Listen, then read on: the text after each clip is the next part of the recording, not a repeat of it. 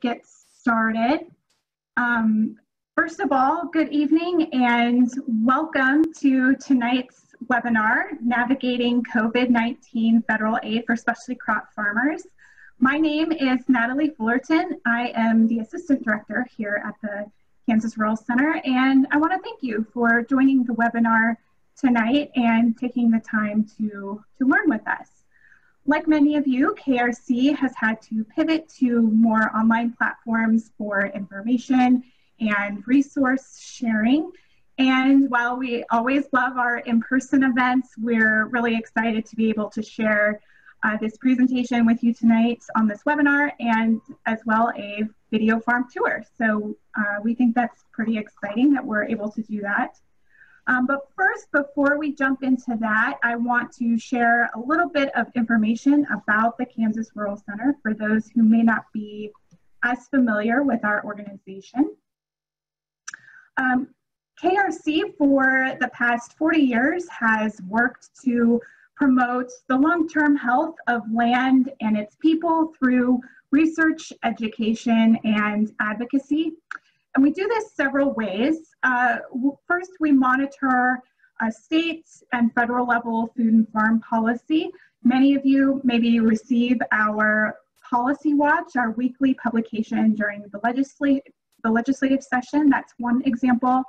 We also do the practical hands-on type of information, workshops, and resource sharing, much like uh, we're doing with this webinar tonight.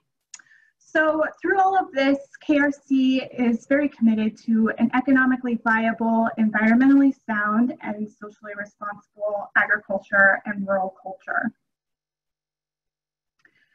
This webinar tonight is organized as part of KRC's Risk Management for Specialty Crop Growers project, which has focused mostly for the past couple of years on business and financial strategies, tools, uh, crop insurance, as well as other USDA programs that are available to uh, specialty crop growers. So tonight's webinar is actually the last in our, in our series. Uh, last week we held a food safety webinar, um, and earlier this week we held a marketing and record keeping webinar. Tom Buller with K-State Research and Extension uh, helped host the record keeping workshop last night. Um, all of these webinars are recorded and getting linked up on our website. Uh, you can already find the food safety webinar linked up there and the marketing record keeping and this webinar tonight will be linked there as well. So um, if you didn't catch the other webinars and would like to, uh, you'll be able to find those on our website. I also just want to share that KRC has this COVID-19 resource page on our website. We keep this fairly updated and feel like it's a really good comprehensive list of all of the uh, resources and information you might be looking for right now. So feel free to check that out if you need information. If you visit the website and find you're not getting what you need, give us a nudge. Uh, we can uh, both try to help track down the information you need and update the website to include uh, that information so it's uh, helpful for everybody. All right, so for tonight's webinar, we have two really exciting things. We have uh, first a video farm tour of A&H Farm near Manhattan, Kansas. And this is uh, really relative for tonight's topic because A&H Farm has received uh, or did receive a Farmers to Family Food Box Program contract and has been working to grow produce and procure food to feed families across the Midwest through this, this food box program. So we'll learn a little bit more about that, um, what that looks like at A&H Farm tonight in their farm video. Um, just a little bit about that Farmers to Family Food Box program for those who might not be as familiar. It is a program um, of the CARES Act that has allowed the USDA to contract with uh, national and local suppliers, including farms, uh, distributors and other food businesses. And so these suppliers are able to package food products into boxes that feed families for about up to a week. And those are transported to um, food banks, community and faith-based organizations, and other nonprofits serving those in need. So as of today, I looked and it looks like that over 20 million food boxes have been distributed, um, which is great because it's not only helping feeding people, but um, it's helping farms like A&H Farm. So we really hope that this program can continue to help families in need, but also our, our local farms. So then following uh, the farm tour, we have a presentation um, by Farm, Sarah from Farm Commons. And she's going to help guide us through some of the options available in the CARES Act and um, some things that you might need to know or consider if you have already applied or are going to be applying. So that's what we have tonight. Um, we will have some time at the end for questions. Andrea uh, with A&H Farm uh, will hopefully be joining us a little bit later in the webinar, um, but she has a farmer's market tonight, so there is the possibility she may not be able to jump on. However, if you have questions for Andrea, feel free to um, ask those questions in the chat box and I'll be sure to get them answered for you. Um, along the line of questions, uh, please use the chat box in the lower center of your screen to ask questions. Feel free to um, enter those questions at any point during the webinar and we'll uh, look at those at the end when we have some time for, for Q&A. So, all right, without further ado, I will go ahead and pull up the farm video. Give me one second here to get that pulled up.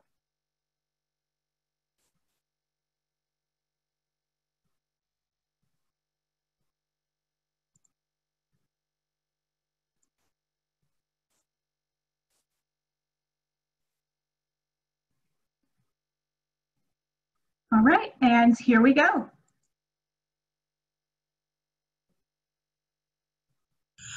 Good afternoon. This is Andrea with A&H Farm, and I'll be taking you on a tour of various um, things on our farm. We are located just south of Manhattan, um, off of Manhattan Avenue. Um, this is our 10th year doing a fall festival. I grew up with fruits and vegetables. I moved away for a little while for the military and came back in 2008 and have been doing doing this ever since. Um, we're heavy into agritourism. We do fruits and vegetables, and we've made some changes this year. Um, this parking lot is empty right now, but on Thursday nights we do a drive-through pickup.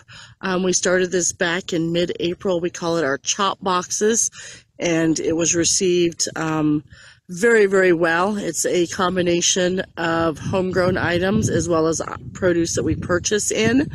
Um, we did not have enough in April. We had we had asparagus is about all we had, and that wasn't enough for consumers to make the trip out. But we added some items that we didn't grow.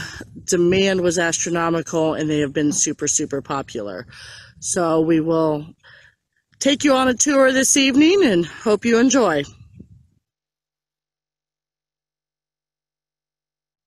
This here is one of our high tunnels. Uh, we have three total. They are 30 by 96, and we are looking at putting up uh, two more as well.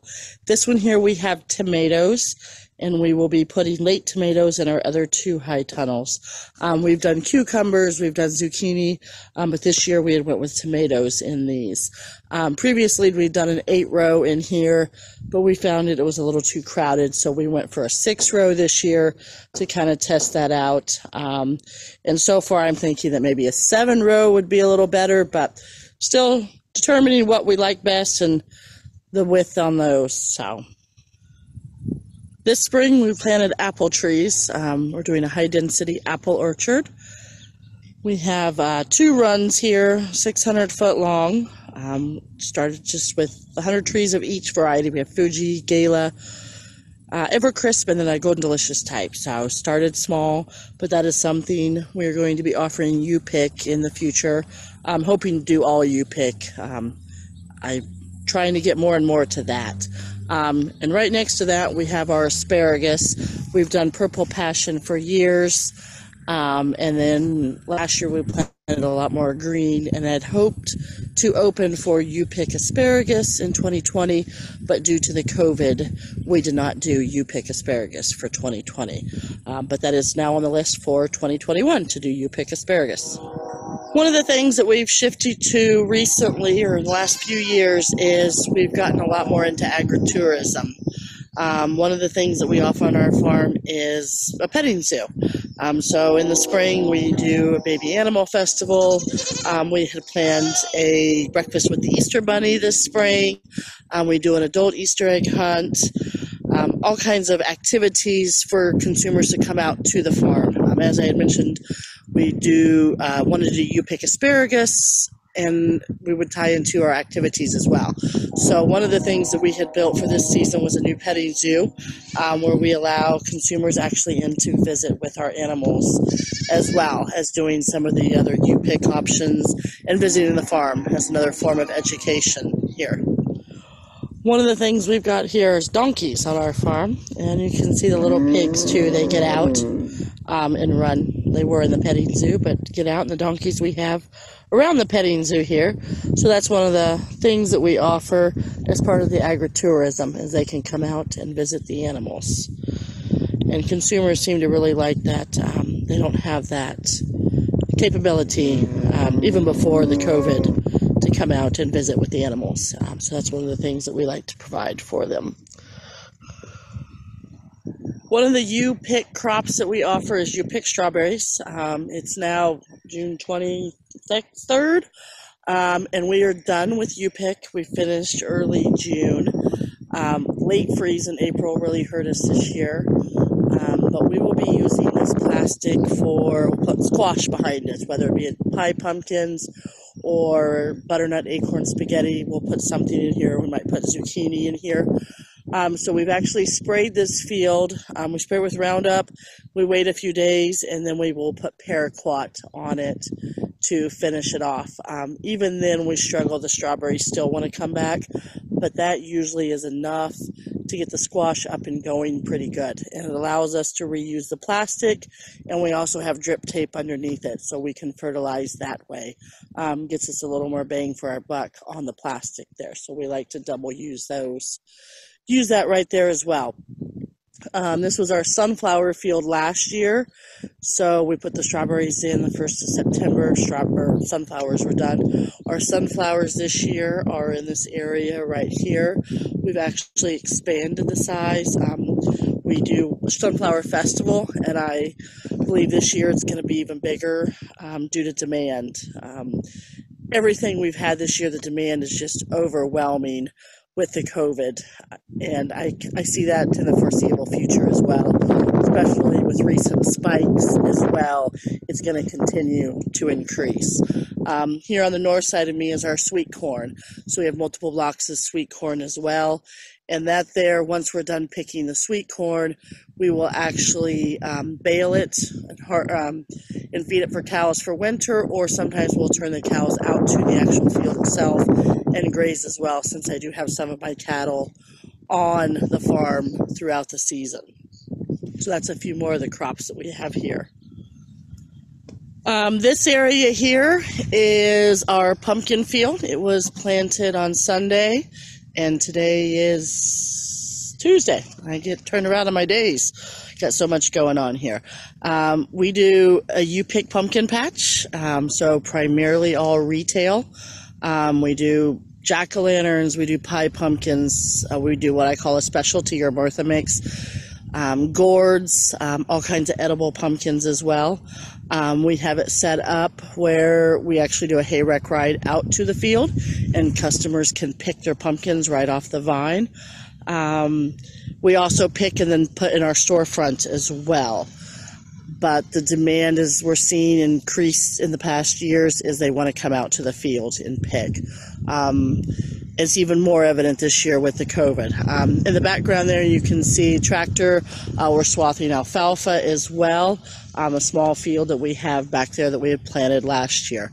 Uh, we are a very diverse farm. Um, we do fruits and vegetables, agritourism, row crops all kinds of different things. I'm always trying new stuff. Um, here we have watermelons. Um, we do the black plastic as well. Uh, watermelons here as well, and then we have we'll get some more close-ups of our squashes and tomatoes and stuff on that side as well. One of the things that you've probably seen in some of these videos is these white posts sticking up here. Um, those are irrigation risers. We put in irrigation a couple years ago, and we use a micro rain um, like this here, which we extend out through our rows and waters, and it's just the pressure pulls it back in. It's self self not self-propelling, but it reels itself in. So I'm not sure the exact terminology on that. We also use drip on some things, and year by year, what we put drip on and what we don't. So like our watermelons, we do not have drip on, but we have some on our tomatoes and our pepper plants, things like that. So it just varies year by year exactly what we put, where we put it, and if we drip it or not. But that is one of our forms of irrigation. Uh, here's some more rows that we have. This is some winter squash here. Um, we planted some of that early um, due to demand, and then as part of our farmers to families food boxes, um, we thought if we were awarded that contract, that would be some good items to put in there. I've never planted it this early. Um, it's looking great right now. We're going to see how it sets. Um, there are blooms on it now, but something new to try this. Normally, I'm just planting about this time. Uh, these are fully mature plants getting ready to set. So excited to see how that works. Um, we have peppers right here next to them. Um, getting close. Um, there's some sweet bananas right in there. Not quite ready, but won't be long with this heat. Um, looking pretty good right now. Uh, these, like I said, we do have set up on drip. We are a very sandy soil out here. Um, and that's one of the things I find is my pepper plants are lacking late in the season. They need more fertilizer. I just can't give them enough granular underneath the plastic. So we've set those up with drip this year so that I can do fertigation as well. Um, tomato plants, um, we have them here. We did have some loss this year. Um, we had put a spray on them and then we got some cold and wet weather and actually lost a fair amount of our plants. But the ones that are making it are doing phenomenal. Uh, we're actually doing a set, second set of tie on them right now, but we will have those before long as well. One of the row crops that we have planted this year is wheat. So this whole, you know, about 50 acres there of wheat um, that need to get harvested. It's pretty close to ready, if not ready. Um, so that's on the to-do list as well as to get that harvested. Um, the plan is to put Milo behind that. Um, last year, that's where we had sweet corn and pumpkins and tomatoes and watermelon and cantaloupe. A lot of our fruits and vegetables were over there, so we're taking it out of fruit and vegetable production for at least one year, if not longer. Um, we do try and rotate quite a bit to help with the spread of disease and things like that. This is Andrea with A&H Farm, and we are working on the Farmers to Families food boxes here this afternoon, and I'm going to give you a little quick tour of how this looks when we're in full swing here doing boxes. Um, we are shipping out a load to Oklahoma that goes out tonight to arrive there tomorrow. We're going to Colorado. We go across Kansas, school districts, churches, um, all kinds of different things. So let me flip it around here. So the boxes at the end of the line, we put on the lighter stuff, such as jalapenos and the fruit. So we have oranges going in there, apples. Um, this week we actually put in a three pound bag of apples. Um, we have carrots in here. We have onions, and we have some red onions as well. And then at that end, we have sweet potatoes, and we have potatoes as well. So a wide variety of stuff. Um, we try and aim for enough to feed a family of four for about a week. Um, but it's about 20 plus pounds of produce. Um, we are getting a custom box in that we are using um, from a company out of Kansas City, so it's helping them as well. Um, and it's a fold up box like that right there that we put together and stack those up. So that kind of gives you an idea of how that process goes. And when we're running on full steam, um, we can get a pallet done about every 15 minutes. So he pulls that off right there, um, and then it will be wrapped, and the truck will be out. usually we pack and send out the same day. Um, some of our school districts that take smaller amounts we deliver to as well. Some pick up, and then we work with them on what works best for them.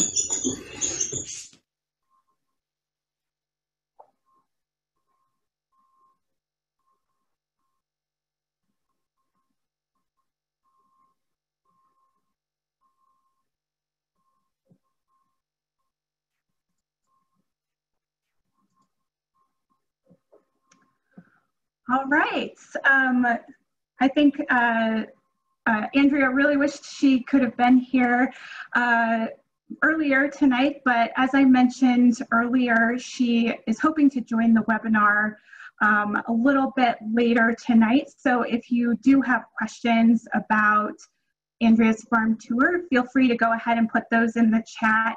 And regardless, we will get those questions to her and get them answered for you. So with that, I'm gonna go ahead and turn things over to Sarah. Great. Thank you, Natalie. I'm just making sure that my screen is able to be seen right now. So let me just get this where it needs to go. All right, and I think we're good.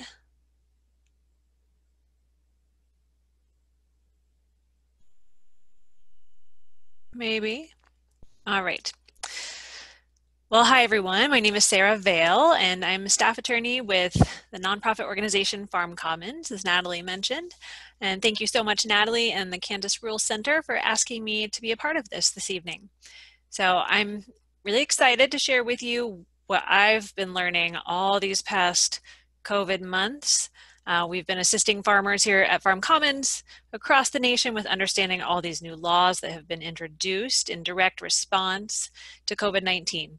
So as part of our 45 or so minutes together, um, I have for talking with you, I'll be sharing what I know about federal level COVID-19 assistance that specialty crop farmers can take advantage of. So I'll let you know what options you have and how to navigate aid, whether you're applying for one of those programs for the first time, or you've already received some of this financial aid. So First, before we dig into it, just a little bit about Farm Commons. If you don't know about us yet, uh, our mission is to empower farmers to resolve their own legal vulnerabilities within a community of support. How do we do this? We deliver workshops all across the country, or at least we did before COVID-19. Um, we do this together with farmer co-presenters who we train up in farm law, and then we turn around to pass along this knowledge. They turn around to pass this knowledge along in their own communities. And we also do this for farmers and farm service providers, so two different types of workshops we hold. We also produce a ton of educational materials for farmers and those who work with farmers, which are also all available for free on our website. We have print guides, long and short, uh, podcasts, webinars like the one we're presenting today. We're also able to offer technical support around navigating the confusing twists and turns of the law to farm service organizations. Things for uh, for us, like most of all of you, have really shifted since COVID-19 and that now we're working really hard to respond to the emergency this pandemic presents for the farming community. So we're doing that by reviewing and analyzing all the pieces of legislation that come down the pipeline and then presenting it to our farm audience in a way that hopefully makes sense and is digestible and actionable. So if you need more information about COVID-19 resources, we have a podcast channel. We also have our website. We have COVID-19 specific resources available there. It's all at farmcommons.org. So our roadmap here for the next, well, 40 minutes or so is um, we are going to be talking about all these acronyms here. So these programs are likely familiar to you as are the acronyms, but for a little refresher, here's the list of the federal programs I'll cover in our short time today. So first, I'll get into the PPP, that stands for Paycheck Protection Program, which many of you probably know about already. But if you don't, that program was the first big federal financial relief program available for farmers, and we'll talk about what it entails and how to apply if you haven't done so, and how to seek forgiveness for your loan if you are one of the lucky ones to have received one already. And then we'll turn to the EIDL or Economic Injury Disaster Loans, which as we'll get into is not just a loan program, but also a grant program. The exciting part about this program is that whereas farmers are not, were not eligible before, they are now, and that is a flexible spending program. So you'll want to know about that one. Uh, then we'll move on to CFAP. So what's that? That's the Coronavirus Food Assistance Program. And in that program, farmers can get direct payments from the federal government for losing money on their crops. Um, then we go into the PUA, that's the Pandemic Unemployment Assistance Program. Helpful if you are out of a job or your employees are out of a job. Big, expensive unemployment expansive rather unemployment program which is helping a lot of small business owners right now. And lastly we'll touch upon the ffcra that's the families first coronavirus response act. This one is where you can get assistance from the feds to pay your workers to stay home because they're sick. So let's dig in. Okay so the ppp or paycheck protection program. This program is designed to help you keep your workers on payroll. So it's to help them continue get to get their paychecks. It's available for small businesses, so those with less than 500 employees, and is very much available to specialty crop growers like you, who probably, I'm guessing, have less than 500 employees. In this program, you don't have to show the government that you are necessarily hurting. In other words, the application doesn't ask you to show reduced revenue. So it feels very flexible in that way. But on the other hand, the uses for this money is very restrictive. So basically, you're going to ask the government to pay you for about two and a half months worth of payroll expenses, and then you are required to spend this money mostly on payroll. You are allowed to spend the rest of the money on non payroll expenses, but even this is limited to mortgage, interest payments, rent, and utilities. So again, the whole idea behind PPP is that you are being paid to keep your workers on payroll. So this doesn't actually mean that your workers have to work. For example, you can bring your workers on payroll, but then they can just stay home. Why would you do this? I'm not quite sure, but I suppose because some of the money you can spend to cover your other basic expenses. So that's helpful. And free money from the government. Why not? Plus, you're helping your employees, and hopefully this means that they stay with you through the bad times and are free to work again during the good times. But most likely, on fruit and vegetable farms, there's always work to do, so paying workers to just stay home is probably not likely. The PPP program sounds kind of like a dream, right? You get free money from the feds with strings attached, sure, but as long as you play your cards right, you don't have to pay it back. Very exciting. So it's not really a loan then, it's a grant. Feels like, hey, we won the lottery. Or have we? PPP has gotten a lot of criticism regarding its forgivability. Is it really truly forgivable? Well, yes, it is if you follow very strict guidelines and you have an accountant and possibly a lawyer on deck to help you figure out the forgiveness application. Critics have been saying it's nearly impossible to get it forgiven and to actually understand how to apply without an advanced degree. Well, luckily, Congress listened to reason and responded recently with legislation relaxing these onerous forgiveness requirements. So let's get into these changes. One change is that before you had to hire back all of your workers, uh, before you had to hire back all of your workers. Now, if you can show that due to a government stay at home order, you couldn't hire them back because, say, you couldn't open the store, you can't sell your product, you can still get forgiveness. Also, before you had only until June 30th to hire back your workers, and now you have until the end of the year. And if you can't hire your workers due to a COVID related government restriction, you may still be able to get your loan forgiven. I think I mentioned that one already. Another change is before you had eight weeks, now you have a whole 24 weeks to spend the money. And before you had to pay that loan back, if you didn't get it forgiven, um, it would be in two years. And now you have an entire five years to get that paid back. So, and another final uh, relaxation measure is that you now have 10 months from when you spent the last dime of that PPP to ask for forgiveness. So before you had to ask for forgiveness basically right away. So the rules are a lot better now. If you haven't yet applied for PPP, don't worry, you still can, but not for much longer at all. You only have until June 30th, which is coming right up.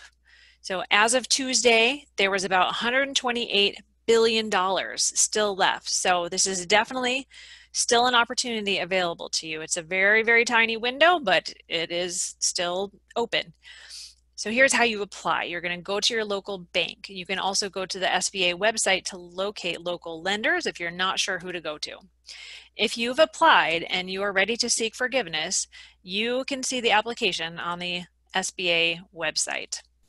And if you want to learn more about the PPP program, including the new forgiveness information, you can see a Farm Commons webinar that's dedicated to that very issue. So you can go to farmcommons.org, create an account in five minutes or less, and you'll have access to that webinar and all of our other resources. So the EID L. That is the Economic Injury and Disaster Loans Program. That's the next program we'll go over here. So this program lets small businesses apply for loans up to $2 million with an interest rate of 3.75% over 30 years where they are experiencing decreased revenue due to, you guessed it, economic injury or a disaster. Basically, the new legislation from the CARES Act, which also created the PPP program, took the existing EIDL program and made it applicable to everyone. That's right, because in all 50 states have now been declared disaster areas, so anyone in any state is now eligible to receive funding if they can show that their revenues have decreased due to COVID-19. So this differs from PPP and that you do have to make a showing in your application that you are suffering economically. However, unlike PPP, you have pretty much total flexibility for how you use the funds. You can use the funds for payroll or you can use them for whatever business related expenses under the sun you have. But also, unlike PPP, sorry, you have to pay it back. Sure, it's low interest over a long period of time, but you still have to pay it back. But wait, there is a but. There is another aspect to this program, and that's the grant program. So that's right. You can, in theory, apply for up to a $10,000 grant under this program, and that's an emergency grant. So you're supposed to get it within three days of applying. Now, this part you can still use for just about anything, and of course, you don't have to pay it back. You just have to show that your business is a total financial mess. Not hard these days for many businesses, right? The total bummer part of the EIDL program was that when it first was unveiled, farmers got very excited and started applying, only to find out that they weren't actually invited to the party. Due to a strange amendment to the EIDL program back in maybe the 1980s or so, the Small Business Administration said farmers couldn't go through their agency and get EIDL loans and grants. They could just go to USDA and use their disaster assistance programs. But the SBA saw the error of their ways after an extremely and wonderfully outspoken choir of farmers and farmer advocates who said, This is not okay. Farmers need access to these funds too. And they passed an amendment to this program. And now, since the end of, of April, farmers and only farmers were allowed to apply for EIDL funds. So now um, it's it's open to everyone at this point. But the potentially sad part um, about excluding farmers at first is that I think a lot of farmers um, believe that they are not eligible. So there's still a lot of money available. You can go online to the SBA website and get yourself some EIDL funds. And yes, we have a webinar specifically on the EIDL program. So on to CFAP. So much hype, so much letdown. CFAP is the Coronavirus Food Assistance Program, and this is a long awaited allocation of money that the government set aside in the CARES Act for farmers. The language of the bill made it sound like it was going to be focused on specialty crop growers, direct to market producers, and other producers selling into local markets. However, the reality has been much different. Basically, $16 billion became available on May 26th for farmers to apply to receive direct payments for financial losses incurred due to COVID 19. However, these payments are unlikely to be that helpful for specialty crop growers who generally, of course, receive a premium for their products. So this program is really geared towards the commodity grower selling one or two crops, not the diversified farmer selling multiple specialty crops. So basically, under this program, the government will pay farmers a set price for losses incurred because the price of the product decreased or there was no market for the products at all and the products spoiled. So the farmers will be paid a set rate for each eligible product. So is it worth it if you're a specialty crop grower? I said probably not, but let's just see. So specialty crops, producers who grow fruits, vegetables, and nuts may be eligible for CFAP if they had any crops that meet the following conditions. They produce produce grown this year that suffered at least a 5% price decline.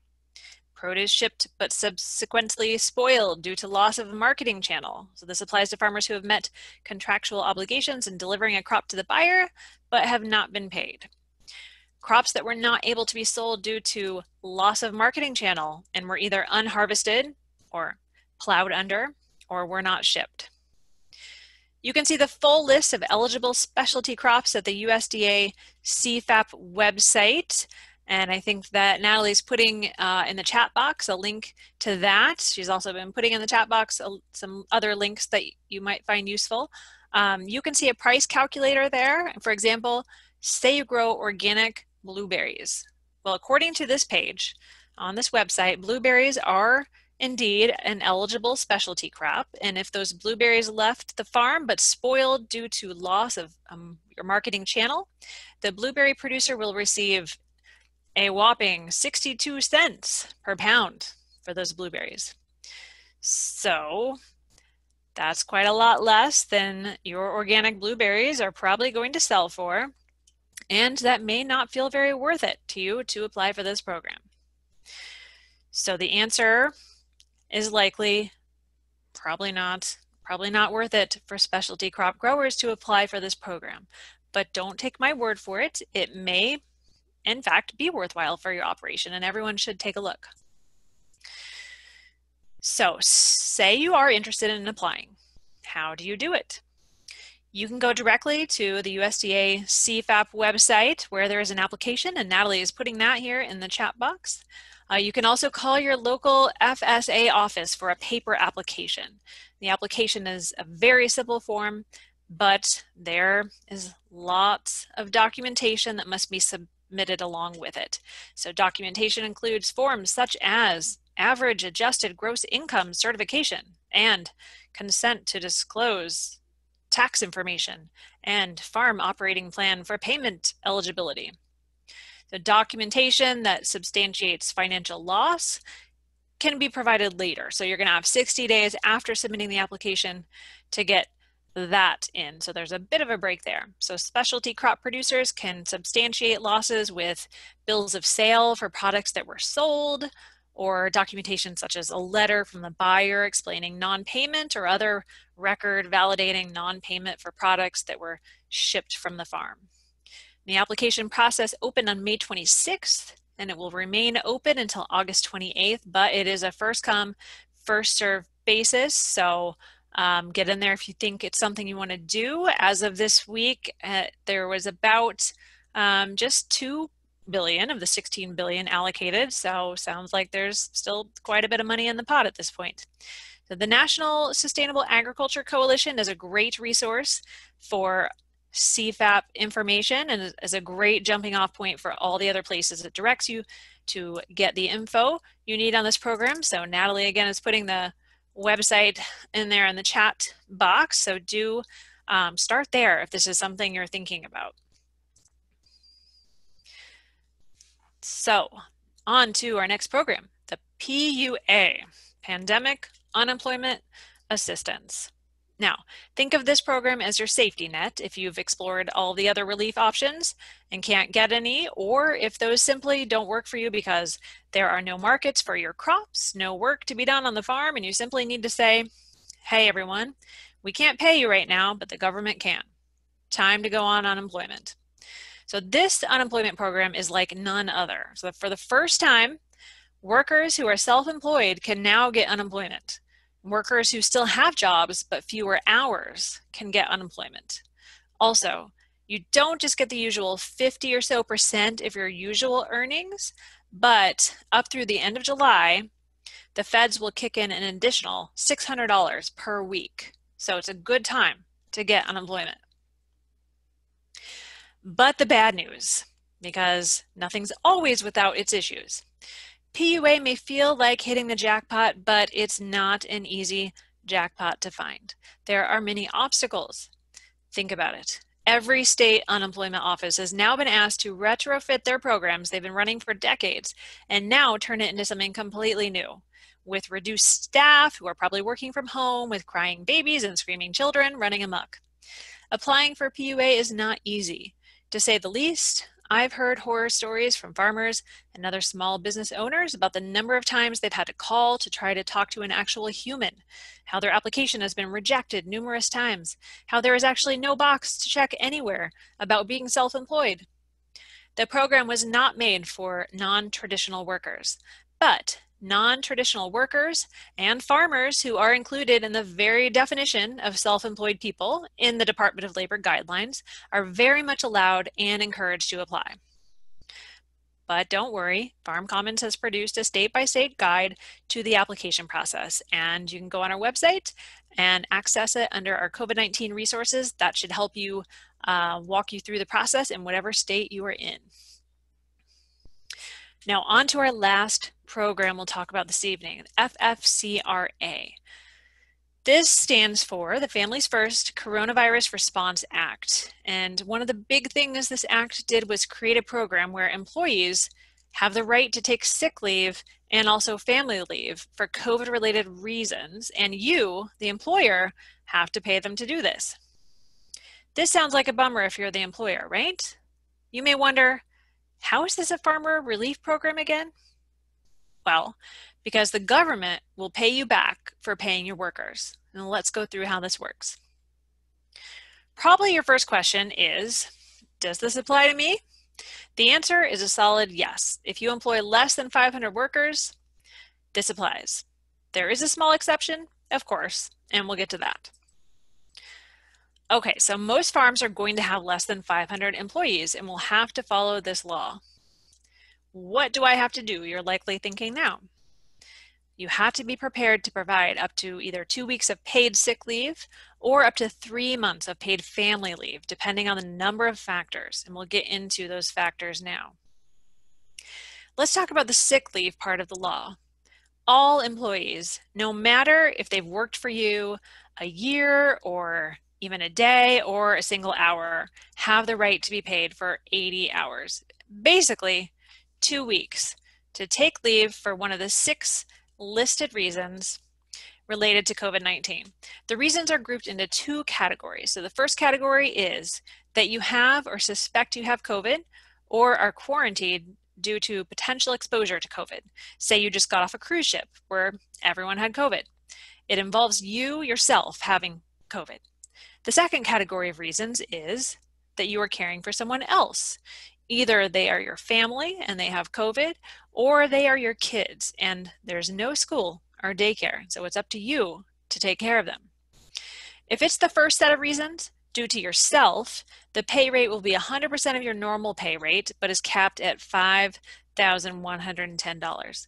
If it's the second set of reasons, someone else, it's two thirds of the normal rate, but capped at 2000 If you provided healthcare benefits before leave, those must continue. The second aspect of the law is the paid family leave. So this allows employees to take extended leave from work for one reason and one reason only, to care for a child who is home due to their school or daycare closing. Employees in that situation can take 12 weeks off from work to provide that care, but note that only 10 weeks of those is going to be paid. Payment is two thirds of the normal pay, but capped at 10,000. Like with sick leave, any normal healthcare benefits are continued. Also, unlike the sick leave, family leave is not offered for workers who have not been employed for at least 30 days. So you might now be thinking that this is an onerous thing the government is telling me to do, and that I can't possibly pay my workers not to work. But here's back to the good news. This is where the relief comes in. The government will be the one to pay your workers. So the idea is that you will take the money, you would pay the feds for all of your employment taxes, social security, Medicare, etc.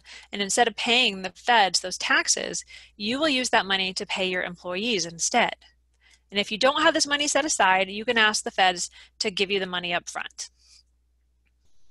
If you're still feeling like this is something you can't do, there's a narrow exception you may be able to take advantage of.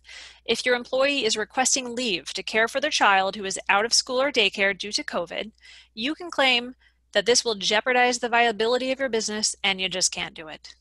You will have to document one of three available ways that your business will be jeopardized and be ready to argue this if called into question. We have done a full webinar at Farm Commons all about paid sick and family leave and have lots of resources on this. And so in our limited time today, I'll cover just the highlights, but do go to those resources if you need more information. And that brings me to the end of what I had for you here today. So now's the time for questions if you have any.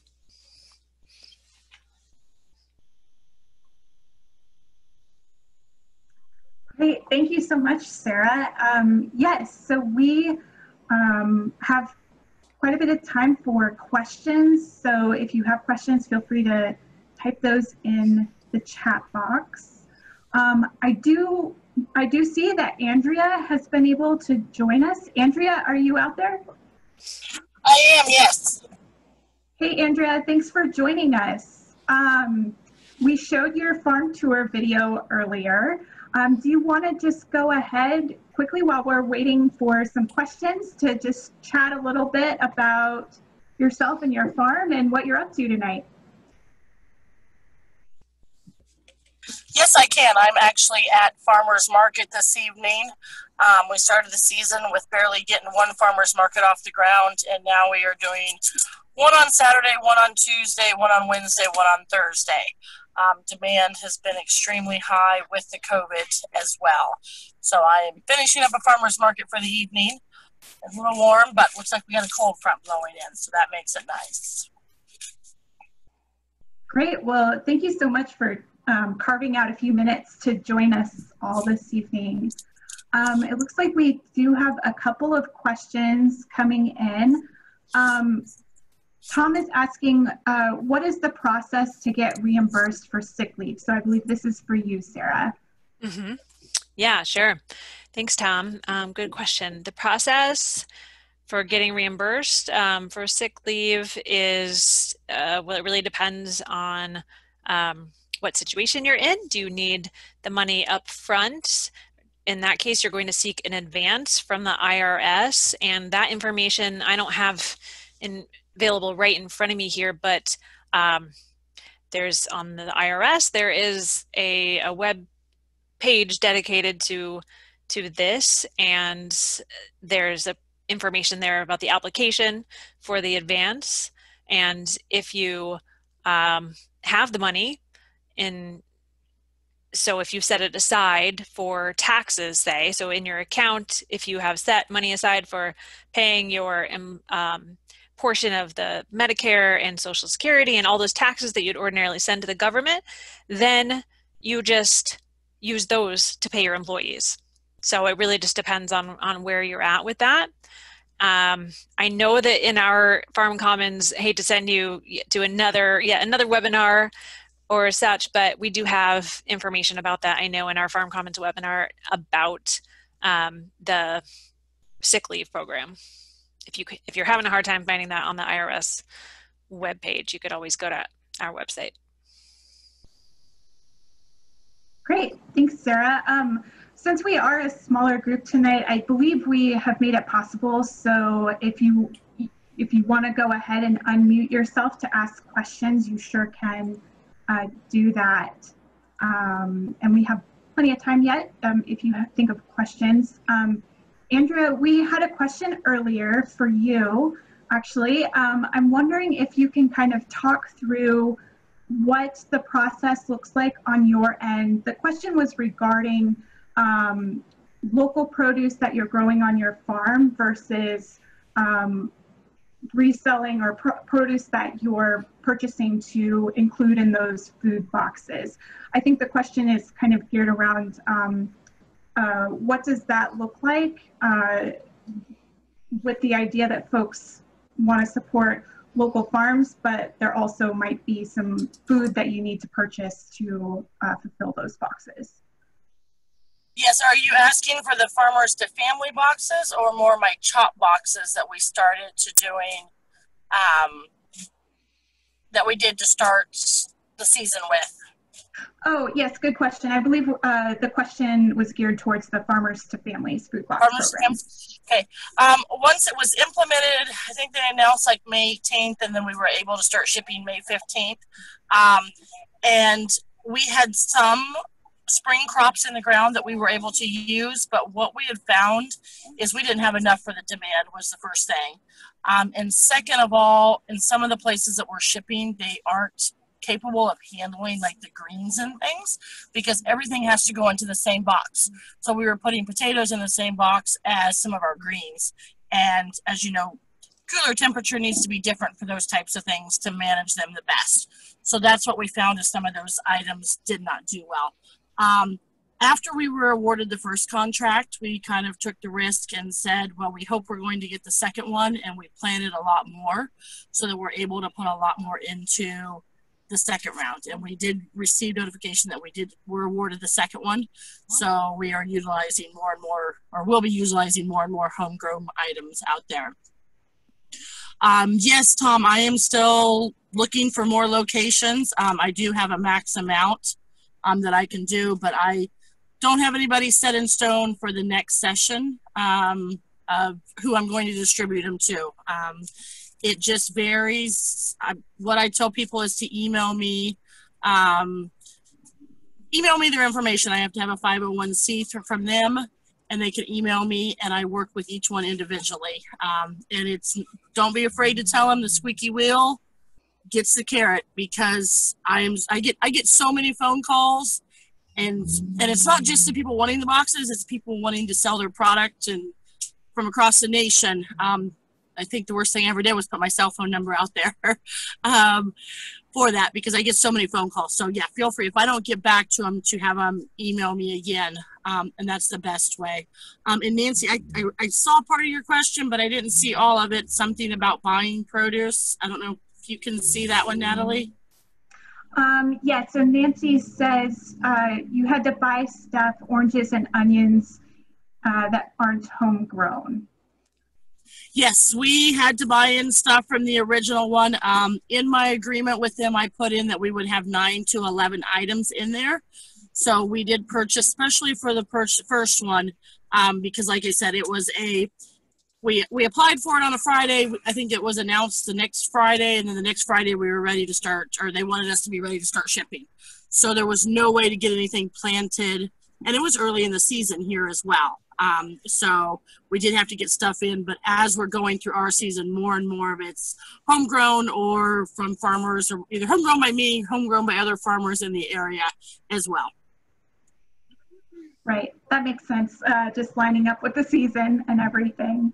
Yes, and um, we have planted super heavy for the fall as well. Um, a lot of the acorn butternut spaghetti. We're getting ready to plant more cucumbers and zucchini um, as well. We've only been awarded the next contract, which is eight weeks. Um, and then there's another one that's eight weeks, and then another one that's eight weeks as long as the program continues. Great. Um, Andrea, I want to make sure, I, I don't know that this question got answered. Um, Tom also asked, has the administration uh, gone smoothly and have you been able to extend to the next period of boxes? Okay, yep, you did answer that, I yep. believe. Um, okay. It's gone fairly smoothly, and, and answer, to answer your question, the produce has to be from the United States. So it just, it has to be United States grown product on that.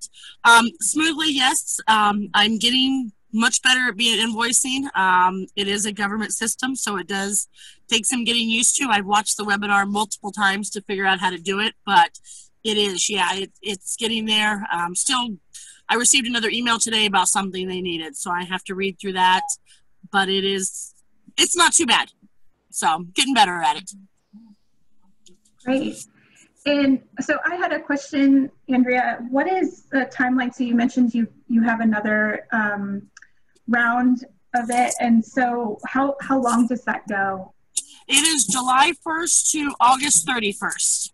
And then there's one September 1st to October 31st, and then November 1st to December 31st. Got it. So, and we don't know. Um, they let us know 15 days before the contract ends if they plan on extending us for the next one. So we don't know until we won't know until August 15th if we get the next one. So there is risk in planting extra stuff, um, but it's something you have to decide if you're willing to take it or not. Absolutely. Um, uh, Andrea, I'm also curious. Um, I don't see any new questions in the chat box, so I'm going to go ahead and ask my question. Um, what, uh, I know you've mentioned a few times in your video that demand has been really, really good for you. Um, what would you say? Um, I'm assuming that's that's a, a positive to the, the whole situation, the pandemic, but what, what is something that's been more challenging as you've worked through that? Um, one of the challenges is with the, the bigger demand is the consumers, you always have the consumers that don't know what's in season. Um, but it's even more so now because people are wanting to connect locally um, and you get more and more of the people that are out of touch. They don't know, you know, that asparagus doesn't grow in July they don't realize that. So it's teaching that um, even more so than normally. Um, and a big part of the issue too is I just don't have enough to supply my customers. So, you know, some of my regular customers that are used to getting stuff, they're having to wait because I just, the demand is so high. Um, and it's, when we saw this happening in April, we planted heavy um, and we're starting to see some of the benefits now. But I I don't know. It, it's it's going to be hard this summer because I think the demand is going to continue to increase. I know in our county right now they are shutting things down a little bit more, even tighter, because we had some spikes this week. So I can see that going on, um, and even this winter, I can see it the demand increasing astronomically again because of spikes. I, I just I'm just forecasting here that I think in the wintertime, you know, some of the cases are going to get worse. And it's we saw the big supply issues at the grocery stores this spring, and it's something that farmers need to plan for. I think. Absolutely, yeah. I think uh, we're hearing that from a lot of growers as well.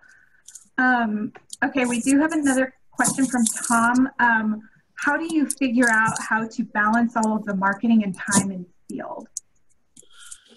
How do I balance my marketing and time in the field? I don't sleep very much. Um, I have. I'm learning to delegate a lot more. Um, I myself do not spend much time in the field anymore. I have my staff do that.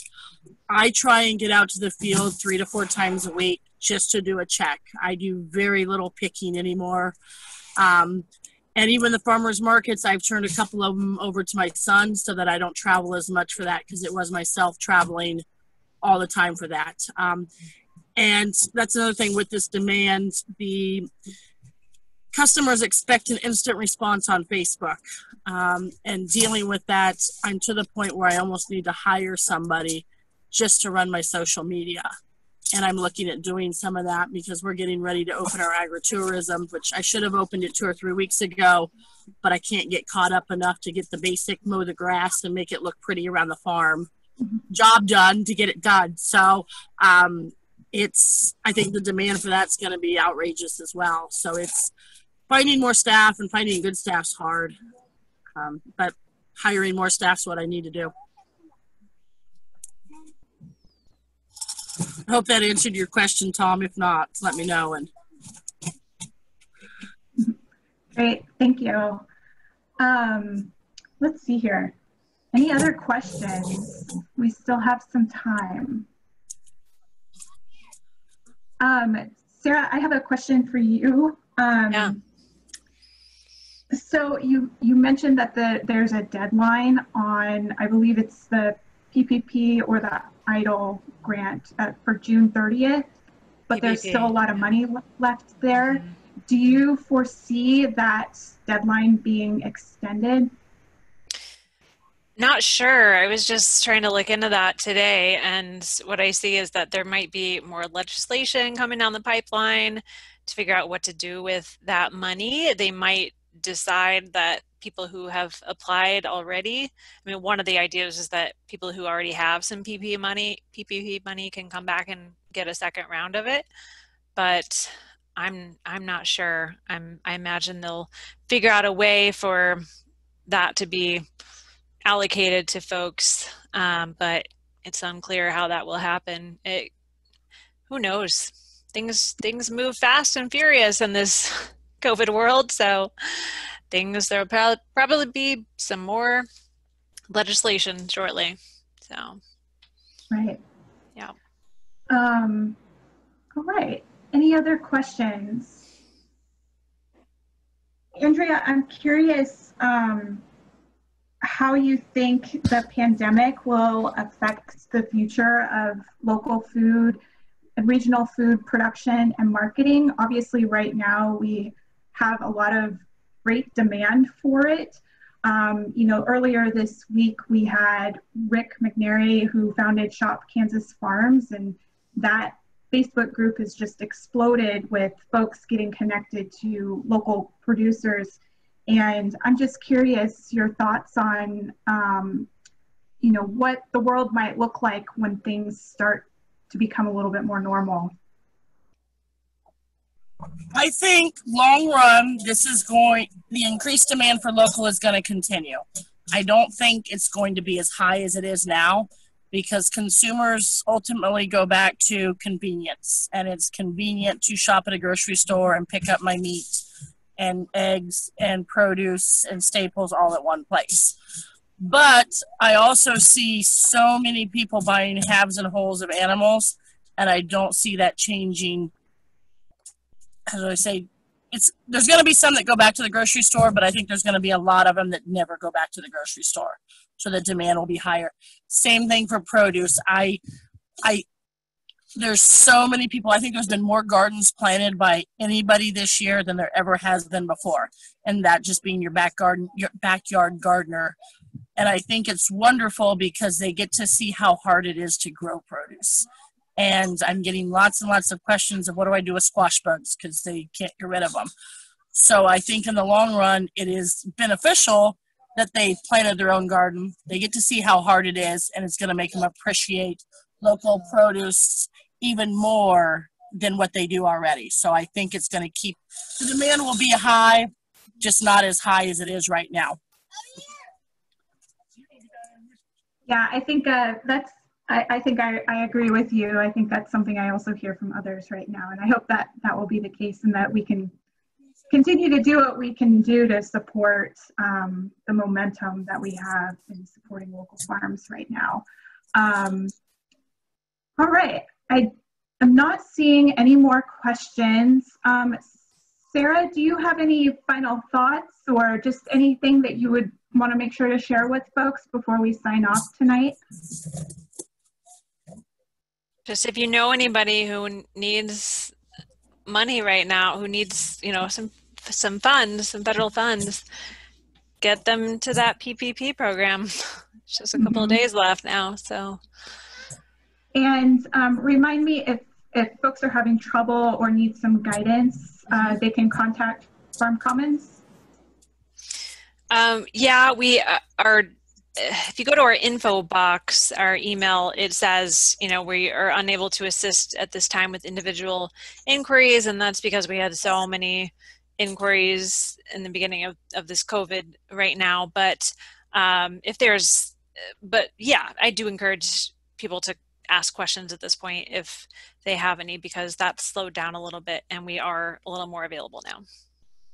Absolutely. And um, of course, you have some really great resources on your website um, and your podcast. So I'll be sure to link that in the follow up uh, to folks so that they have all of that information and know where to find that info. Great. Um. Yeah, Andrea, same question. Any lasting thoughts that you want to make sure folks know about your farm or what you're working on? No, uh, um, I am open to questions. So if anybody has questions later or needs help or anything, they're welcome to email me or give me a call and I can help them get answers. Awesome. All right. Well, thank you so much. Um, like I mentioned earlier, this webinar was recorded, so it'll get sent out and we'll be linking it up on our website. So be sure to share that with anybody who may not have been able to join us tonight. We were kind of a small group, um, but I understand Thursday nights tend to be farmers market nights. So I know a few folks are, are busy with that, much like Andrea. Um, so thank you, everybody. Thank you, Sarah. Thank you, Andrea, for joining us this evening. I really appreciate it. And I know everybody appreciates your expertise as well. So um, I think we'll go ahead and, and sign off for the night. Thanks, everybody. Thanks, Natalie. Thanks, everyone. Thank you.